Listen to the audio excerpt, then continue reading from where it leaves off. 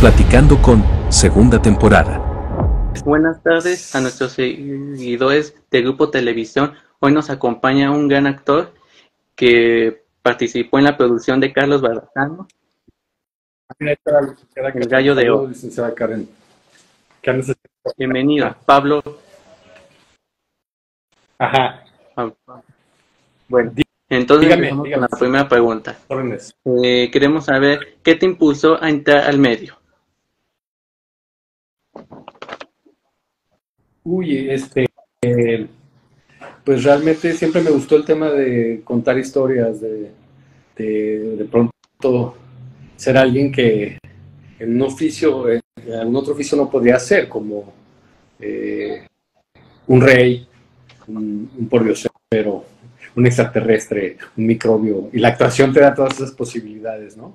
Eh, como que es algo que me invitó a no dejar de ser niño, a seguir jugando, y en algún momento vi que lo podías llevar al plano profesional y que se podía vivir de esto, y pues ahí fue que me metí a una escuela de actuación. Desde luego que tuvieron que ver mucho mis papás con el apoyo eh, que me dieron para emprender mi, búsqueda como actor, mi camino. ¿Y, eh, ¿y has tomado como clases de, de la actuación para poder ponerte muy bien en el zapato del personaje?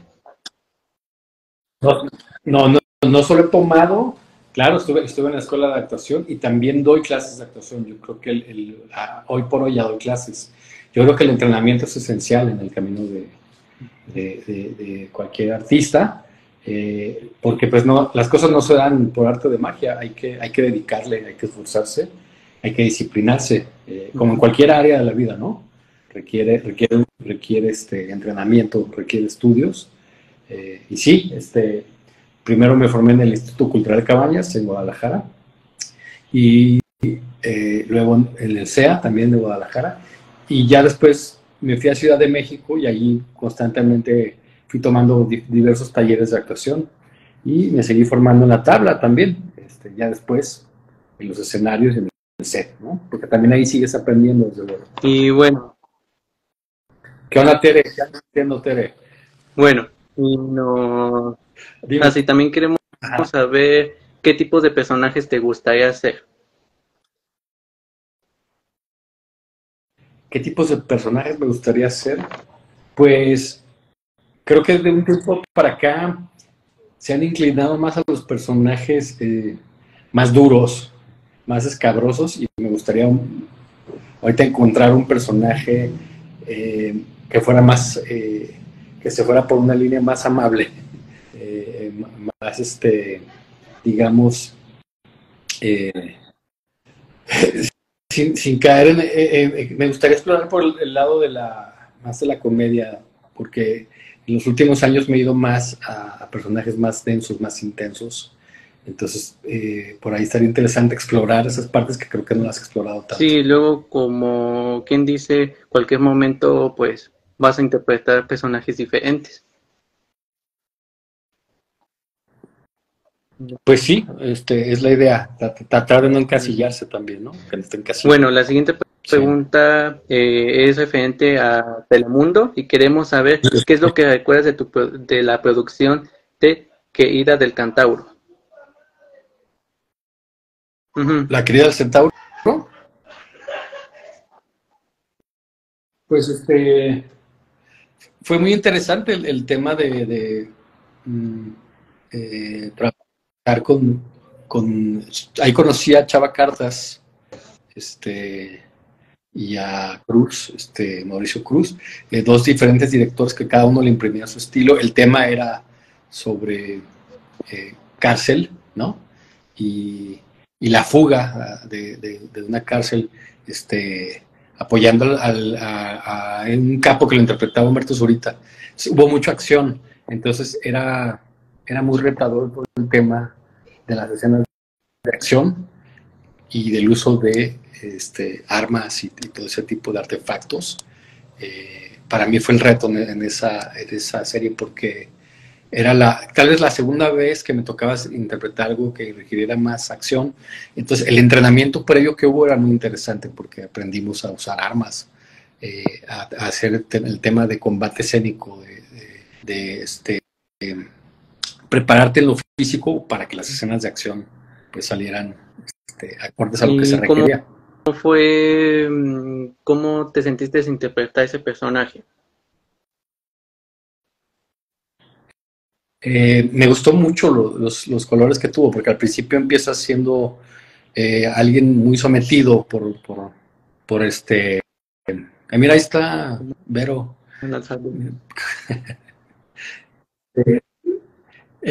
fíjate, por acá apenas nos saludamos porque la vida real no está chistoso. Este, ¿cómo me sentí? Pues fue muy interesante el reto de interpretar a este personaje que al principio empieza siendo muy sometido y me gustó cómo se va liberando, cómo se va emancipando.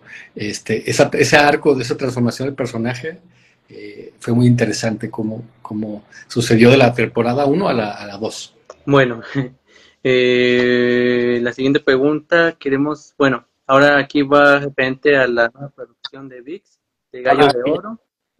Mejor platicamos. Ah, sí. Eh, eh, seguimos con la pregunta de que va frente a lo del gallo de hoy. Queremos saber cómo fue que quedaste en ese, en ese, ¿cómo se llama? Mm, serie. En ese serie. Eh, pues generalmente la manera de, llegar a, a, una serie así es por, por una audición, ¿no? Un casting.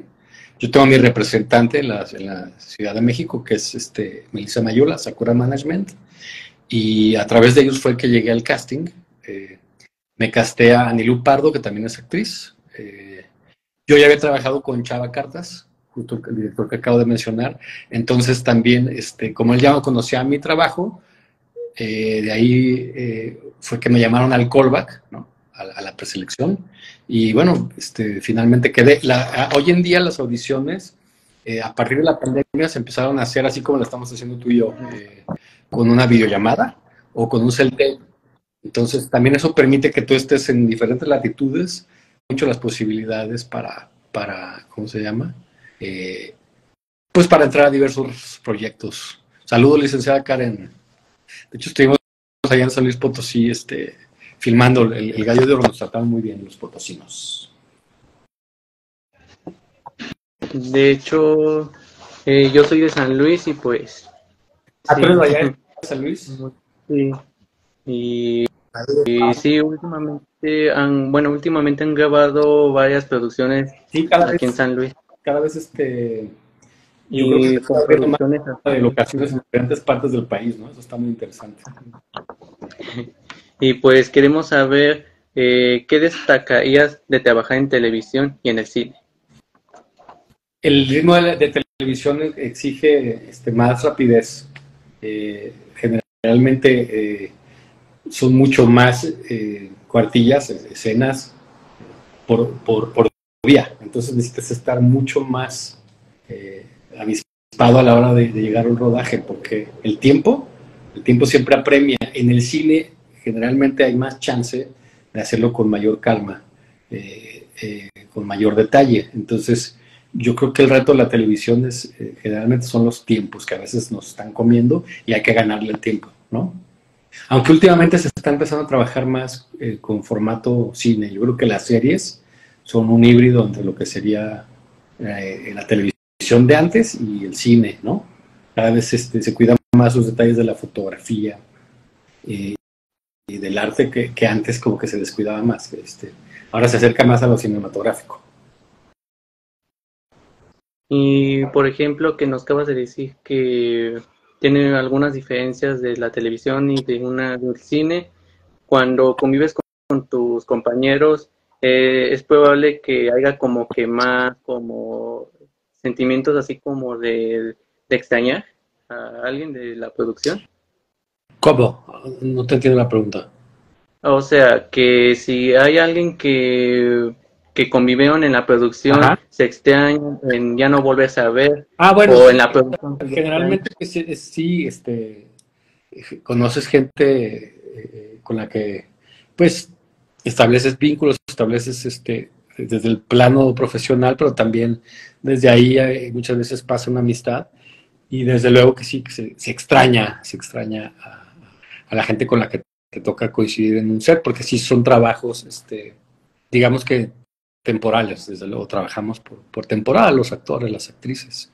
Pero lo interesante de esto también es que yo creo que en cada producción te encuentras gente que, que por ahí se vuelve importante en tu vida y, pues ya este, eh, se mantiene el, vínculo. Y, y como nos acabas de mencionar ello, también queremos saber qué es lo que te gustaba de tu personaje de Gallo de Oro. Feliciano, me gustó mucho el reto de interpretar a un músico, nunca había interpretado a, un músico, ¿no? Eh, entonces, eh, fue algo que me retó, a mí me gusta que me rete el personaje, en la vida había agarrado un violín, entonces ese fue el primer reto. Eh, entonces, por ahí fue muy interesante pues abordar, abordarlo desde un músico que además eh, es en, en 1940. Ya después también trabajamos mucho con, pues, con la manera de hablar, que no es la misma co- como hablamos ahora, ¿no?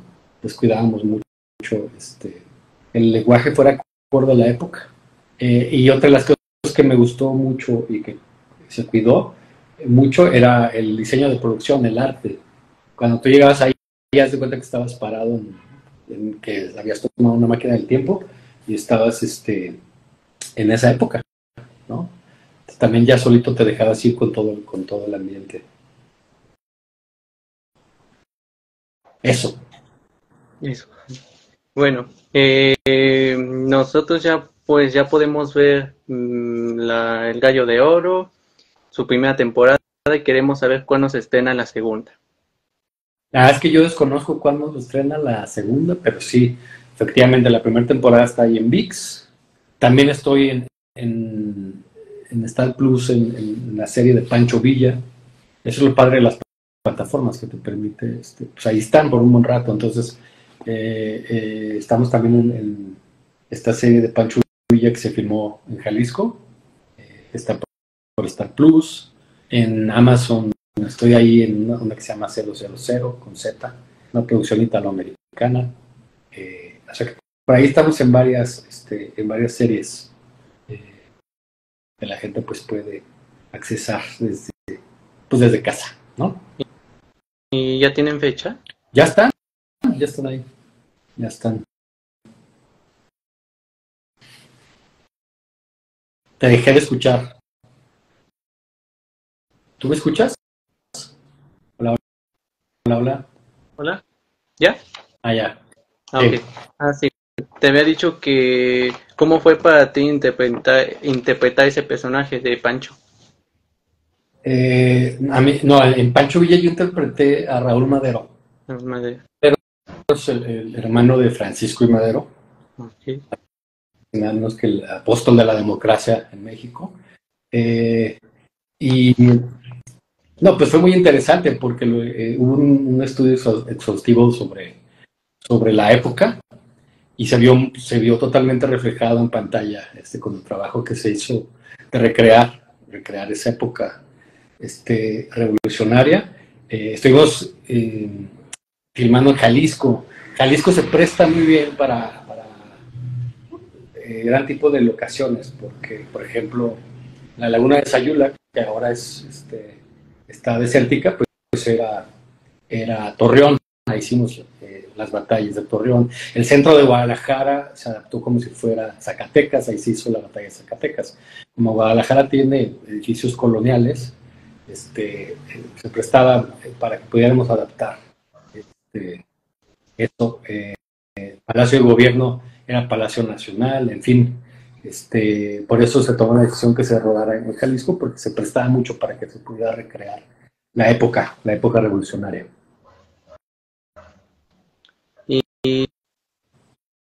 ¿Y qué experiencias te llevaste con esta producción y la del Gallo de Oro? Eh, pues siempre te sales, eh, yo creo que siempre después de un rodaje, eh, primero pues te llevas muchos amigos y también llevas lo, que te da el entrenamiento, este, haber estado en una serie, por ejemplo, de la Revolución, pues yo antes no, no sabía montar a caballo y a partir de ahí fue que aprendí a caballo. Cada serie va requiriendo ciertas este, habilidades que tienes que desarrollar y pues te quedas con ellas una vez que te, una vez que te, ayudan mucho. Claro. Y, bueno, y ya para finalizar, queremos saber cuáles son tus futuros proyectos que vienen en camino. Eh, una película que se va a llamar Abra Cadáver, que acabamos de filmar, la dirige Pancho Rodríguez, con Alberto Estrella, eh, Olaf Herrera, la dirige Pancho Rodríguez pues esa la acabamos de terminar de rodar. Yo creo que el, próximo año se estrena. Habrá cadáver. Es una este, película familiar sobre unos hermanos que son magos y, tienen que este, resarcir ciertos temas familiares, ciertas heridas familiares, este, eh, a través de la búsqueda de una momia, una momia que tienen que... Eh, y por ahí está tenemos teatro en, Guadalajara, en una obra que se llama Lluvia Implacable, de Kay Hoff, un dramaturgo neoyorquino, en el Teatro María Teresa. Ahí estoy al lado de Mauricio Cereño. Excelente. Y también te quería preguntar para finalizar, eh, ¿cuándo se estrenaría la, la película o por dónde? Para que la gente lo pueda ver. Saludos de éxito, de éxito usando. Eh, esa película yo no, tengo conocimiento de cuándo, pero el año que entra. El año que entra. Eh, muchas gracias por este me dice, eh, gracias que te gustó el personaje, gracias del éxito. Pues bueno, esto sería todo por hoy. Muchísimas gracias. Gracias a ti. Y pues nos despedimos. Soy Alfredo Torres y esto es un capítulo más de televisión. Bye. Bye. Es parte de eso, pero los haces tú, los vives tú, este, y es tan divertido.